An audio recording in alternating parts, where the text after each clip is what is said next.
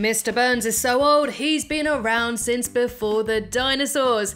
And that's not a joke, by the way, he's literally said as much. Enter place of birth. Pangea. Piecing together his convoluted history into one cohesive timeline is a mammoth task. You're fired! So you can understand why I've been putting this video off, not to mention that The Real Gyms has already done a fantastic video on Mr. Burns. But I've received so many comments, literally hundreds of them, asking me to do his history, and I can't put it off any longer. So this one is for you guys. But to help me out, I've asked the expertise of Zach from CZ's World. Over on his awesome channel, he analyzes the lives of horror characters from Pennywise to Michael Myers. So if he can make sense of those messed up timelines, I'm sure he's the perfect person to help me sort out Mr. Burns' evil, evil life. Excellent. Thanks, Lydia. I have talked about some of the most evil characters in history over on my channel, but I don't know if any of them compare to the wickedest of Mr. Burns. So let's start by taking it back to the very beginning.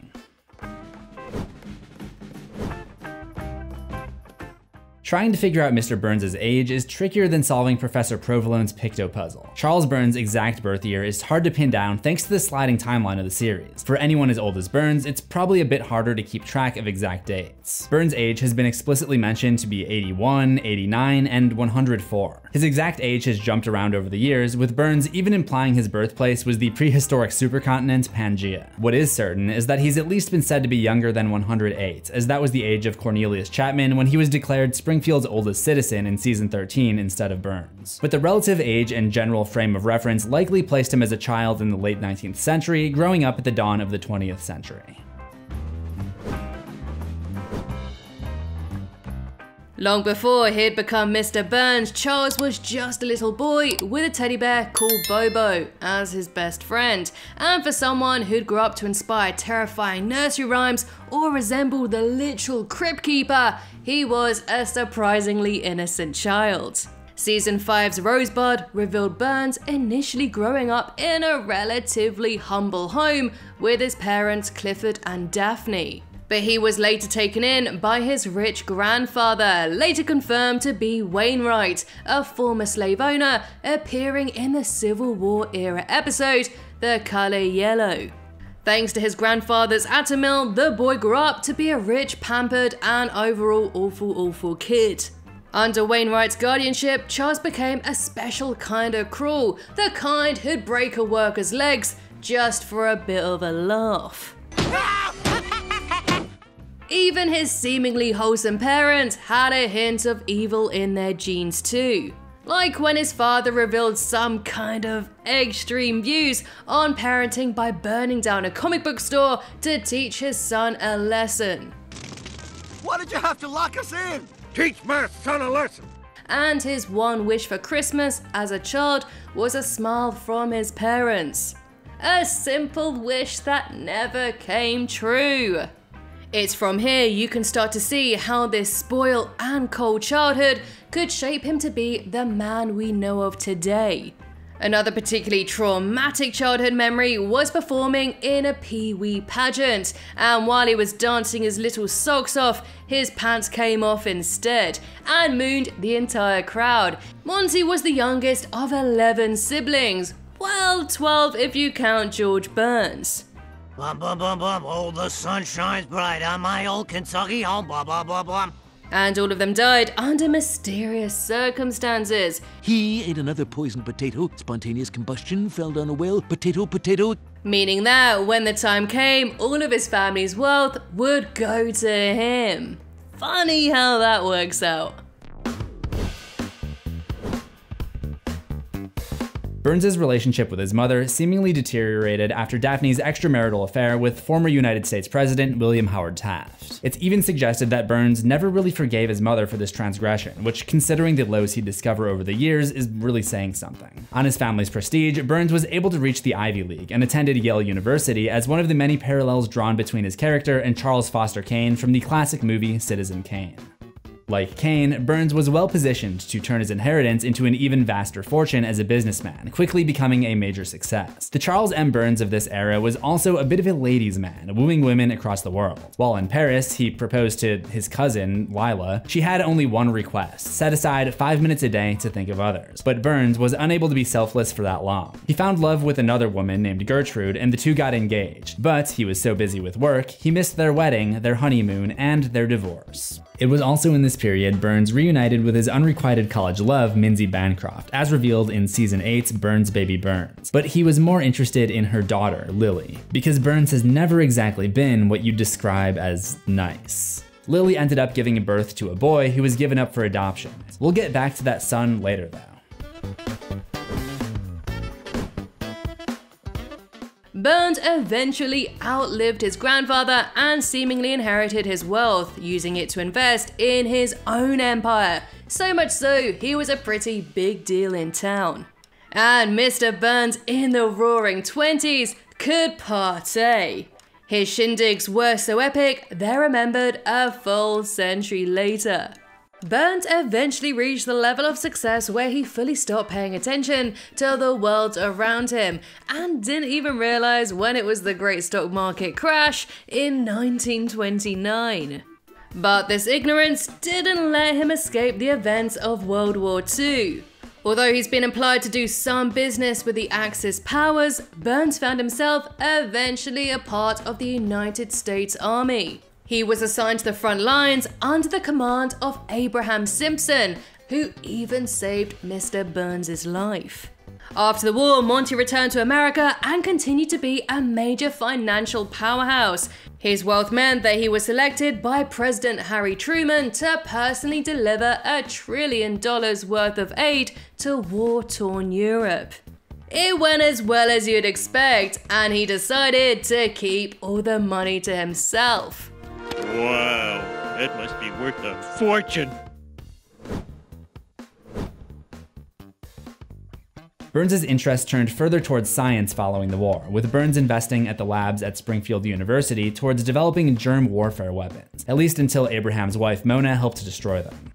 My precious germs, they never harmed a soul. They never even had a chance.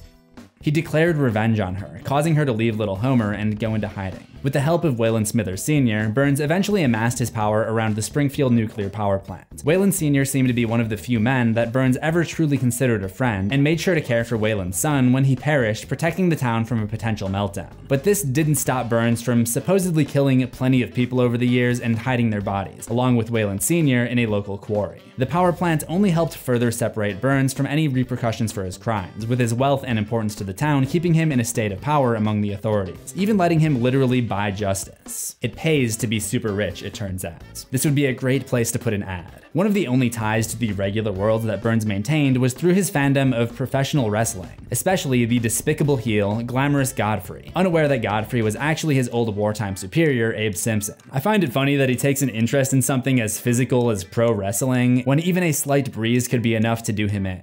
Oh, no, no. In, in fact, even a slight breeze could. Indestructible. Burns always found ways to try to bolster his holdings, whether it be through purchasing early stocks in Apple or claiming the rights to the song White Christmas. But while his personal wealth may have remained consistent, his actual holdings were frequently in flux, and eventually even in downfall. However, every time his fortune seems to be in freefall, Burns always finds a way back up. Much of The Simpsons operates on a sliding timescale. Despite the decades of the episode, the series' main cast hasn't notably changed within the world of Springfield. As a result, Mr. Burns hasn't obviously aged since his initial very, very, very, very old status when the show began. Being as old as Mr. Burns is, everyone he knows is pretty much, well, dead. His closest confidant being his assistant Smithers, who is utterly and madly in love with him. Hello, Smithers. You're quite good at turning me on. Um, But Burns seems pretty much oblivious to his affections, although I personally believe that Burns is aware of his crush, but simply chooses to ignore it. I hope you understand it was merely a sign of my respect. Yes, yes, of course. Either way, the two of them have a pretty codependent relationship. Smithers! With Smithers pretty much doing anything and everything for his boss, including bathing him, but it's something he's only too happy to oblige. And although Burns wouldn't like to admit it, he does love Smithers, just not in the romantic way that Smithers wants. Aside from Waylon Smithers, Burns has also found himself tied to the Simpsons family. Homer works for him at the nuclear power plant, he briefly fell in love with his wife Marge, he named Bart his heir, he worked with Lisa to get his wealth back, and Maggie even shot him. One other constant in Mr. Burns' life is his rivalry with Grandpa Abe, from attempting to make off with the flying hellfish treasure to battling over the ladies. Oh yeah, remember that fling that Mr. Burns had with Lily all those years ago? Well, it turns out they had a child together called Larry, who was put up for adoption after his mother was confined to a convent. Loudmouth Larry is now all grown up and peddles tacky souvenirs in the middle of nowhere. When a train heading for Springfield stops in its tracks, Larry notices Burns through the window and realizes that he's his long lost father, and so he hitches a ride with the Simpsons. Later on, he knocks on Monty's door and introduces himself. Despite being initially pleased at the meeting with his estranged son, their happiness quickly turned to disappointment as Larry turned out to be the complete opposite of Monty. A total lack of refinement. But in order to win his father's approval, he and his best bud Homer stage a fake kidnapping. But after this is foiled, Larry asks his dad to love him for who he is. Something that Burns just couldn't do. Oh no, I can't do it. It's just not me. But do not be fooled, this old dog has a few more tricks yet, embarking on numerous campaigns to broaden his impressive repertoire of accomplishments. This includes finding the Loch Ness Monster, becoming the superhero through Batman, and even stealing Christmas.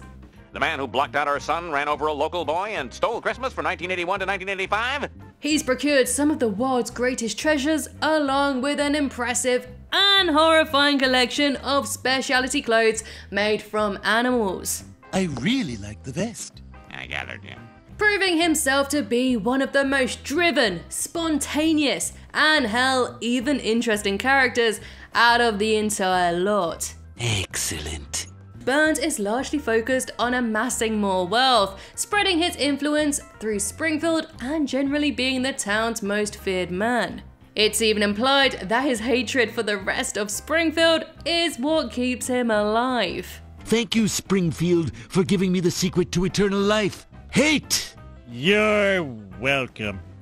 Yes, Burns' depravity knows no bounds. He once blocked out the sun to increase its reliance on the nuclear power plant and refused to give the citizens extra energy when enclosed in a giant dome. The one evil Mr. Burns may never conquer is death. But he's damn well tried with experimental medical advancements that has prolonged his life, even if they leave him feeling a little funny. I bring you love. It's bringing love. Don't let it get away. Break its leg! Burns is even expected to live on for a few decades more, at least. He appears briefly in future episodes where he hasn't changed much in the handful of years past the present day. He also apparently stole Christmas. Again. Yeah, I miss Christmas. But Burns' wicked ways would soon come back to bite him. In Lisa's wedding, it's revealed that he was stabbed 17 times in the back and frozen in a cryogenic chamber until Frink and his nerds could find the cure. Groening sure does love his applied cryogenics. He eventually was cured, but he was thought out a little too soon. What's next for Mr. Burns? Well, only time will tell, and so far it suggests that things are about to get weird for Springfield. A potential endgame for Burns is even hinted to extend into the distant future, with Burns seemingly surviving the end of the world thanks to a robot body, in what I'm sure won't be anyone's new waking nightmare. But at least, even at the end of the world, he'll always have his best friend, Bobo. Also, Smithers is there too as a robot dog, because why wouldn't he be? And my golly, that completes the life of Mr. Charles Montgomery Burns. A huge thank you to Zach for helping me out with this video. If you like my timelines, then you'll love his content. So please go and subscribe to him. The link for his channel is down in the description below.